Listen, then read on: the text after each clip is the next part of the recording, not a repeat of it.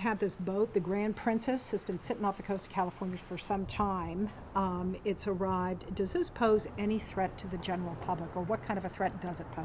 So I live in Oakland, and I'm perfectly comfortable that they're going to do everything necessary to make sure it does not pose a risk to the people of Oakland. So I, I think I can reassure people that that's not going to be a problem. I've seen the plan uh, that they're implementing. I think it's a well designed plan. I think the people in charge of this particular uh, ship uh, know what they're doing and will do an excellent job. So I have no concerns about that. How is this different? Can you, is there any way you can generally tell me how this is different from the Diamond Princess, the boat that was in Japan? Well, it's a bit of a mystery exactly what was done on the Diamond Princess that resulted in six or seven hundred people getting infected, but it's pretty clear, based on news reports, uh, that no epidemiologist or anyone who knew anything about cruise ship outbreaks was involved in, in deciding what should happen to whom. Um, so it's pretty clear that there was ongoing interaction between the crew and the passengers that could have allowed transmission. There almost certainly, at least for a period of time, was ongoing uh, interaction between uh, uh, passengers, allowing transmission. So, so there is a right way to do this, and it's pretty clear they didn't do it the right way. So I, let's say passengers are asymptomatic, they don't have a flu, they don't have a cough. Why not just let them go home?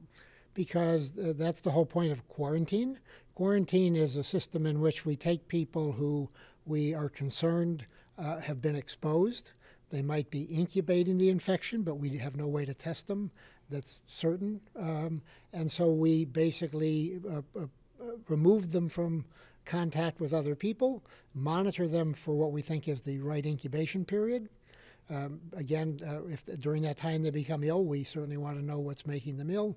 But if they remain asymptomatic, uh, then we certainly want to test them again and make sure that they don't have, in this case, the, the, the COVID 19 virus before we tell them that they can go home. Any insight as to what might, how they might be monitored, those folks um, at Travis under quarantine? What will that involve? Well, I assume they'll be kept in individual rooms, uh, so there is no mixing and opportunity for cross infection because then you basically need to start the, the incubation period quarantine all over again. Um, so people will be confined to individual rooms, uh, we hope with internet and, and other ways to amuse themselves. Um, and, and, you know, basically, I suspect they'll have temperature checks every day and, and be checked for symptoms. How often they will be tested for coronavirus during that 14 days, I'm not sure, but probably at least a couple of additional times to prove that they are consistently negative at the end of the 14 days before they're uh, sent home. You think it's been contained? Do you think we're going to see more cases? Do you think it's in the community? So I don't think uh, we have contained the virus in the United States uh, or in the Bay Area more specifically. I do think we will see more cases. Um, and I think a lot of what we're focused on now is what we might call mitigation techniques. We're trying to keep transmission as low as possible, even if we can't eliminate it.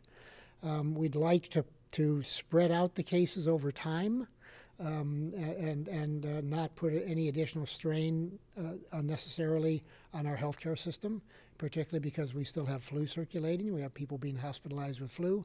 So uh, uh major hospitals are pretty full at the moment. Intensive care units are pretty full.